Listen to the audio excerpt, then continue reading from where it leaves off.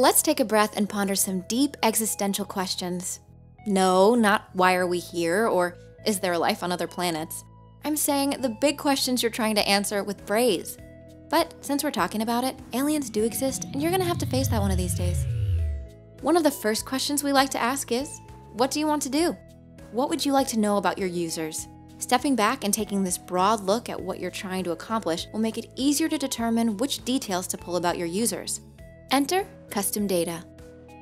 We already learned a bit about out-of-the-box data in our previous lesson, user profile breakdown. When we talk about custom data, we mean data specific to your business, and as such, it requires your hands-on involvement.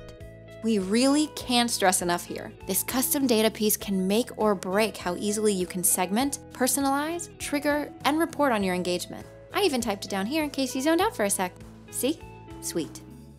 Consider your company goals and the nature of your business to determine the user stats or actions you want to track. Custom attributes are user characteristics that you can specify. So if you run a shoe store, you might want to have each profile specify that user's shoe size and brands they've purchased in order to see what brands are currently trending or to personalize messaging. The other piece here specified by you is custom events. Custom events are actions taken on your app or website.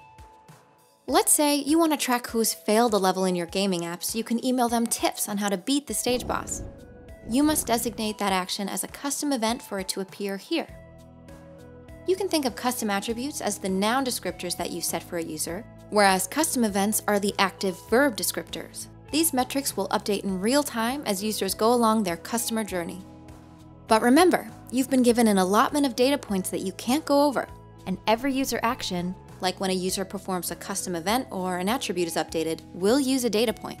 So be sure to limit your custom attributes and events to only the info you need.